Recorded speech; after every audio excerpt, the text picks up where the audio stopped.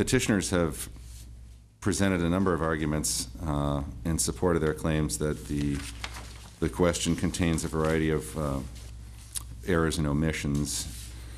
And in effect, the, the basic claim is the question is misleading because uh, they, they believe that it could mislead a voter of common intelligence as to the meaning and effect of the amendment.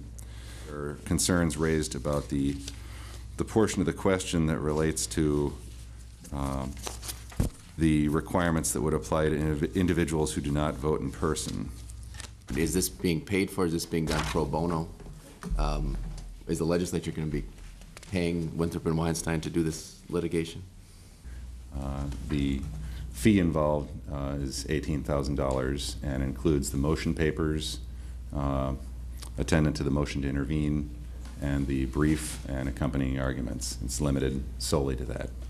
Before we spend $18,000 and before we take this unprecedented step, I want to understand exactly what uh, the legislature's argument is going to be because I don't think, uh, I do think it was within the court's jurisdiction to look at whether something is misleading or not. And this is not saying that. When you say exclusive constitutional authority, this could be saying that we're going to be making a very different argument than that.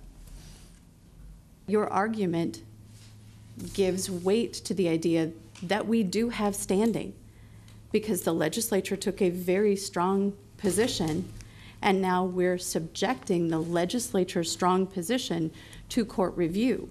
And so I would think as a legislator who intends to go further in his legislative career, you would want to support the idea that when the legislature takes a strong position, we do have an inherent right to stand before the court and affirm that position.